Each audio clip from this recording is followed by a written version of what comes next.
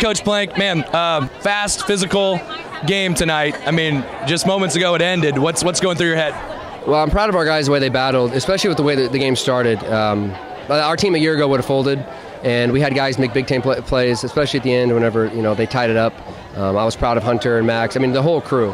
Uh, Ryan, Baylor, Wood stepped up, Nick, um, Caden, the whole crew stepped up and played big tonight and uh, didn't shy away from the moment. So.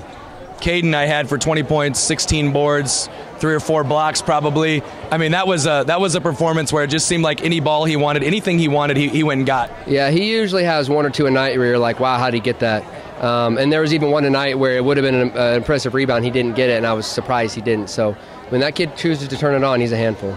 So you guys are kind of hanging, you know, tie game. You're you're close, so you're leading, and Max had not scored at that point. What does that say about this team? The ability, and you guys had to be feeling pretty good too, knowing that Max was eventually going to get something. Yeah, well, we played a lot of ball last summer, um, and the idea behind that was to get guys to realize they can score and just get them comfortable with, with big moments. Um, and a couple guys made some huge plays tonight. Probably, the, I know it, maybe it was unimportant at the end, but when they were picked up the defensive pressure and Hunter took a back dribble and hit Caden on a back cut. Um, a year ago, that doesn't happen. So.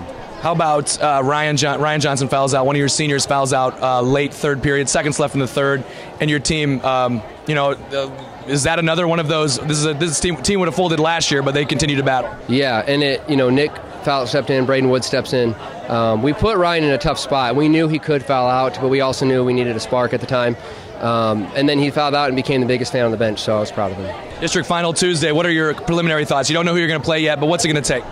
Uh, I mean, it's, it's going to be a tough game. Um, obviously, we played Clarinda before, um, so we're going to get a look at Treynor tonight. Both teams are good.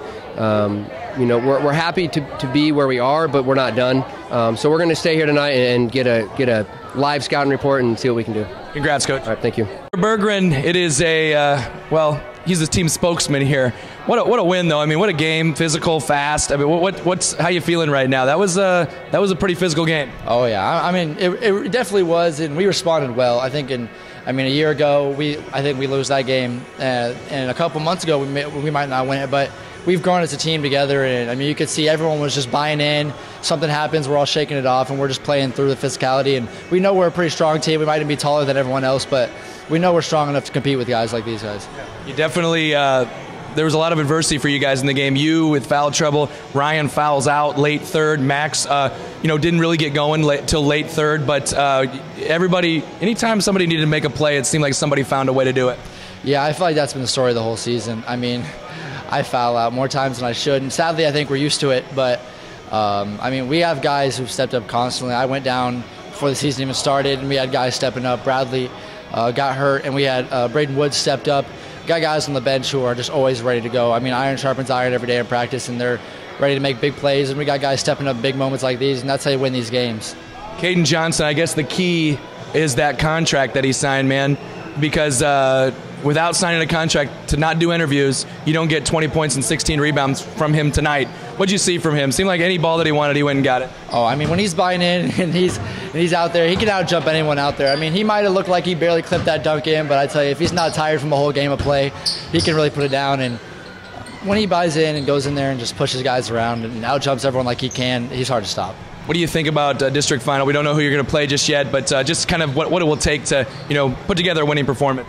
Both these teams are very similar. I mean, they're strong, physical. They play great defense, and they rebound the ball really well. And so, I mean, just sit out here and watch, and it's going to be a great game, I know, and I think it's going to be a close game. And just we'll just wait when we get there. I say I think they're pretty similar teams, so it might be same similar scouting reports from the both of them. Congrats on the win. Thank you very much.